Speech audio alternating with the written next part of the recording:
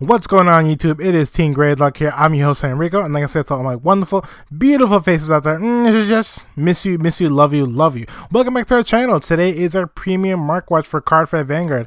If you guys don't know, every Friday we do a premium mark watch, and every Thursday we do a standard mark watch. So today we're only going to focus on premium cards, or you can call it G format cards. We're going to find out which cards are money, which cards are minus, and which cards are plus. Now the first cards I want to talk about is the Zero Dragons. The Zero Dragons, a few of them are going down and a few of them are actually go still going up. Ultimate Secret Rares are 80 bucks and then after that 150 and then after that 160.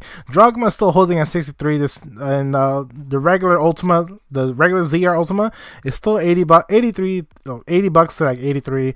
Stark took a huge hit. The Secret Stark actually went down to 40 bucks. Last time we saw Stark at 60 to 70 and now the Secret Stark is down to $40. So I'm going to assume the regular ZR Stark also took a big hit.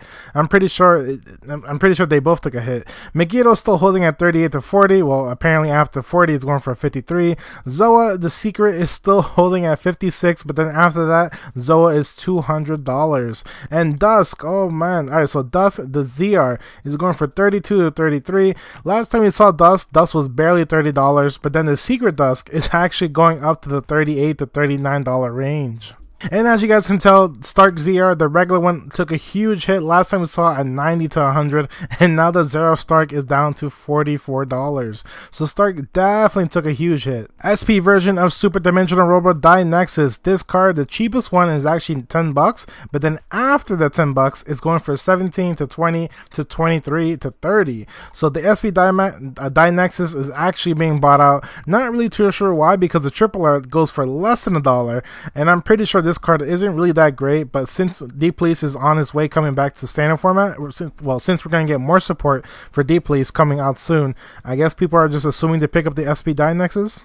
Zeroth Dragon Drachma is still holding at 68 to 70 bucks. Again, a lot of Zeroth Dragons are either keeping the value, going up a little bit, or going super, super down. Megiddo is actually going up a little tiny bit, is up to 48 to 49. Uh, Dragonic Overlord, the Destiny, the SP version, there's only one listing left for $55. So, uh, Dragonic Overlord, the, the Destiny SPs are being bought out. They're about to leave the market. And I'm assuming the Gurgwitz Stride, the regular triple R version, is actually going up as well. And we found it right here. All right, so the Gurgwitz Stride last time I've been selling them for like 15 bucks for the longest, but now I sold all of mine. I don't have any more. All my Gurgwitz strides are all gone. So I'm assuming the Gurgwitz stride is going up, and it is. Gurgwitz stride is going from 16 to 18, then 25, then to 28. So the Gurgwitz stride is actually being bought out as well. Gurgwitz stride is now heading towards a $20 range. Last card I want to talk about in Ultimate Stride is Blackshot Gavriel Priam. This is the the last grade 3 for Angel Feather, the last stride break grade 3 for Angel feathers. This card is going for two to three bucks, but after the two to three bucks, it's going for four bucks, then to six bucks, and then eight dollars. And keep in mind, there's only six listings left for this card. Again, this this last uh, stride break for Angel Feathers that we got is honestly the best stride break for Angel Feathers that we currently have. If you guys are looking to, to pick up Narukami cards, a couple Narukami cards are actually going down in value. A lot of them actually took a huge hit. Now people are realizing that Narukami isn't that great in premium. Narukami is great in standard but Narukami is not doing so well in premium. So, so far the V-Buster, last time we saw at 10 to 15, now the cheapest V-Busters are now $7. There's actually two listings up for $7, but then after that, V-Buster is back up to the $12 range, but I'm pretty sure V-Buster will stay below the $10 range. A lot of Narukami cards actually took a huge hit. A lot of Narukami cards are actually going back down in value. Chrono Tiger Gear Glare SP version is also leaving the market as well. We only have two copies left online for 13 bucks each, again, this card isn't that great. Um, the SP version, of course, is, is a collector's card. It's going to be really hard to find, but again, this card is not that great. I don't know why it's being bought out. I don't know why it's leaving the market. Demonic Avenant, one of my favorite old sets from premium format. For some odd reason, Ganslot Peace Saver, the SGR, is going up in value. There's one for 30 bucks, but then after that, it's going for 36, and then after 36, it's hitting the $55 range. I don't really understand why. Again, Ganslot Peace Saver is getting reprinted, but then again, it's a different rarity, so I'm assuming that wise. And also, we don't know the pull ratios on, on the Revival Collection too, how, how it's actually going to be for Ganslot. Uh, Ganslot, the regular GR is for 18 and 19, not really surprised. There's no reason why Ganslot should be money Little Great Sage Marron, the SP version that only came in the SP pack. Now the reason why this card is being bought out just for the fact that it's an actual good staple card in, in uh, blasters in premium format. Now this card only came SP in the SP pack. It didn't come SP by itself. It only came SP in the SP pack. So that's uh, I'm assuming that's the reason why this card is very expensive at the moment. It's because it's not easy. It's not that easy to pull Little Great Sage Marron unless you actually pull the SP pack. So right now, uh, Sage Marron is going for for 49, and then after that, 75 bucks. But then the PG for blasters, Maiden Divine Spring Leon, the SP version is 25 to 36. Now this card, I'm pretty sure came in the SP pack, and it also came SP by itself. I could be wrong, could be right. Comment down below if you guys remember if the if the if the PG for blasters came SP by itself or it only came SP in the SP pack. Flare Arms Egenberg, this stride for Kagura is still broken. I don't understand why people really un undervalue this card. Flare Arms Egenberg is the best restanding Kagero card in premium format. It's the best one. I'm not gonna I'm not gonna lie about that. That card is simply amazing. It's a restanding Vanguard with a free cost. Well, the possibility of having a free cost. Now at the moment, the triple R version is going for eight bucks, but then after all of these listings, they're going for the ten dollar range, and then after the ten dollar range, we're seeing it to the nineteen dollar range. So Flare Arms Egenberg, if you guys have them, I recommend to keep them or value them more than ten bucks. Flare Arms Egenberg is a great card. Just people, a lot of people are just undervaluing it. And to even prove my theory more on Flame Arms Egenbergs, the SP version is gone off the market. There is no more. Flare Arms Egenberg SPs are gone. Last time we saw, I believe it was like 14 and 15, the SP version, but yet the triple R is almost at there. The triple R is at ten, is almost at the almost at the ten dollar range. So you guys can definitely tell Flare Arms Egenbergs are definitely going to be money. The GR Ogma Stride, this card is finally coming down in price. The GR is going down to 22 bucks thankfully because before we saw this gr for like 30 bucks and i think it was 30 or 35 bucks but finally now the gr is actually going down in value. Dragonic vanquisher vmax the secret rare is also going down in value. Again a lot of Narukami cards are actually going down in value because people are now realizing Narukami is not that great in premium. So vanquisher last time the secret rare used to be like 15 to 20 bucks but now the cheapest one is actually six dollars well seven dollars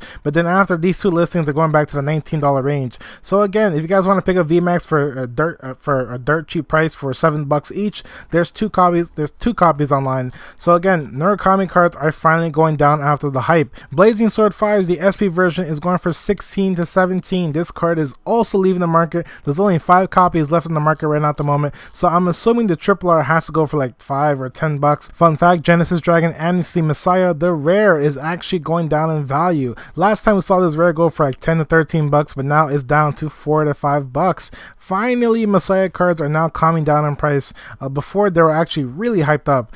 Blazing Sword Fives, the regular triple R version, lightly played, is going for 10 bucks, and then after that, Fives is going towards the $15 range. So the triple R Fives is also leaving the market. Blaster Friend Bark Owl is also leaving the market. The cheapest one is 375, but then after that, there's one for 450, and then after that, there's one for six. There's three listings left for this card, this common card. There's only three listings left, and it's going towards the $5 range. Flying Peryton, this rare for Pale Moon, the basically the Infinite Loop uh, Grade 2 is also money. It's going towards the $9 range. There's one listing for 5 bucks, after that 6, then 7, and then eventually the $9 range. So the rares are so the rare Grade 2 is finally back in the market. There's a bunch of listings, but unfortunately the rare Grade 2 is money. Blazing Sword 5 isn't the only role paladin leaving the market. Errol Divine Knight Altmal, the original Altmal Stride, is also leaving the market. There's only one copy, lightly played for 820 for 820 this card is was broken back then. This card slightly went down afterwards when we got better role paladin strides. But now the original Altmal is leaving the market. Another card that's leaving the market, but this time it's a new nectar, Dream Spinning Asha. The cheapest one is going for seven bucks and change, but after that they're going towards the $35 range. There's only four listings up. The cheapest ones are seven eight bucks again, and the last expensive one is going for $35. This card was broken back then. This well technically this stride was the best Neo Nectar stride stride that we ever got until we got better Neo, Neo Nectar strides, but now this card is also leaving the market. Stealth Dragon Runestar. Now, you look at the price, it's actually pretty cheap right here, but there's only one copy. Now, if you actually check the listings, there's only two listings up for a dollar or less, but then after that, this rare is going for a dollar to four bucks each, and there's only a few listings up, and there's only one list, there's only one copy of each listing besides the last one going for four dollars each. So this, so the other Murakumo cards, like the Stand Trigger's money, the Grade 2 from uh, Genius Strategy is money, but now the now Stealth Dragon Runestar is also becoming money. Conquest Dragon, the SP version, is also going down in value. Last time we saw only only have one listing for 30 bucks, but now we actually have a cheap one for for uh, 23 bucks. So I'm happy to see that more Narukami cards are actually going down in value. The original Triple R Conquest Dragon is also going down in value. Last time we saw it for 15, but now the cheapest one is actually going for 11 bucks each. Another Narukami card that's actually going down, but then again, uh, people assume this card would be broken. The SP version, Dragonic Kaiser Crimson, basically the Legion for uh, for uh, Vermilion.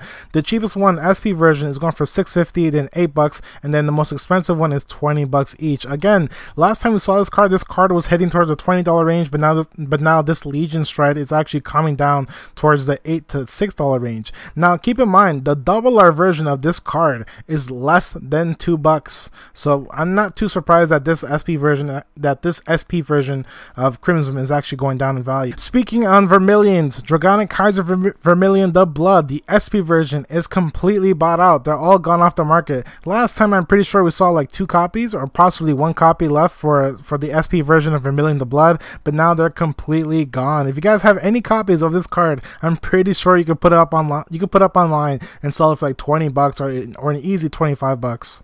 Now let's go back a little bit more further to the, to an old old set, original set seven, Rampage of the Beast King, Free Traveler, the good grade two rare for Dark Irregulars that puts a card from the deck into the soul is now going is now at the four to five dollar range. Thankfully, because last time that card was hitting towards the $15 range. Yellow Bolt is still 8 to 9 bucks, not really surprised about that. Purple Trapeze is, is still 5 to 6 bucks. Again, another card that I'm not too surprised about. Monoculous Target, the SP version, there's only one copy left for 10 bucks each. So if you guys have any copies of those SP version, which I'm pretty sure you guys really don't think is money, it is now actually money.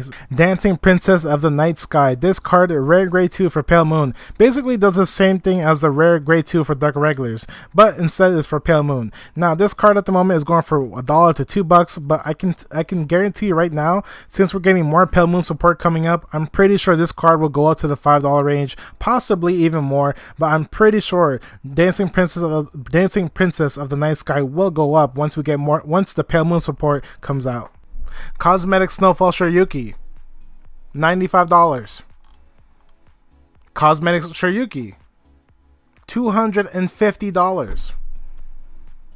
$300. Last card I want to talk about, Meteor Kaiser Buster. This card is heading towards the $20 range. There's one for 13 and change, but after that, we're seeing 20 bucks each on this old Nova, Nova Grappler GR Stride. Now, this card came out in the old Fighters Collection 2016. Again, when this card, when this GR first came out for Nova, for Nova Grapplers, it was one of the best strides for Nova Grapplers. But then eventually, when we got more uh, Victor support, when we got when we got a better Victor strides, like like a winning champ Victor, when we we got those strides, Meteor Kaiser Buster was left in the shadows. Like nobody cared about this card. This card went down to four bucks, well, 43 bucks. But now this card is finally going up in value. This this old GR from Nova Grapplers is heading towards the $20 range. So that's our market watch for today. I, I hope you guys enjoyed the video. If you guys enjoyed the video, please hit that like button. If you guys haven't subscribed to our channel, definitely subscribe to our channel. We will have more Fight Vanguard content for you guys. And also leave a comment because I love replying to your comments. I love talking to you guys. That's kind of like the main point of doing market watches. I love having conversations with people about the market, about what cards are money, what cards will eventually be money, and what cards are eventually going to be minus. Now, I'm going to end out this video by saying a lot of Narukami cards are dropping finally. Well, besides the Blood, the SP version, uh, Zero Dragons, a few of them are keeping the value, a few of them are hitting hard. Like a few of them went down hard. Stark went down to $40, but then a few of them are actually going up in value, like Ultima, Zoas, and Dusk a little bit. But again, I'm pretty sure some people out there either need the Zero Dragons because regionals is coming up. Regionals, a couple regionals are around the corner, and people need the Zero Dragons. But um, if again, guys, if you guys don't know, if you guys don't know about Revival Collection 2, definitely look up Revival Collection 2 and look up what cards are being reprinted in that set. A lot of cards are getting reprinted, but I'm not too sure. How, I can't really, I can't really uh, estimate how much those cards will actually be, but I'm pretty sure it's gonna it's gonna lower the value down for the, for the Zeroth Dragons. And also, a lot of cards are leaving the market. Royal Paladin cards are leaving the market. The Dream Spinning Asha is leaving the market. A lot of cards are finally are finally now leaving the market. So if you guys have any copies of those cards, I recommend to put them up on TCG Player and sell them immediately. And also, Flare Arm Ziegenberg is a broken Kagero card. Please, if you guys have it, it is money and it will be money. So that's it for our Mark Watch, guys. Stay tuned for next Thursday is our standard Mark Watch, and next Friday is our premium Mark Watch. So I will see you guys later. Deuces.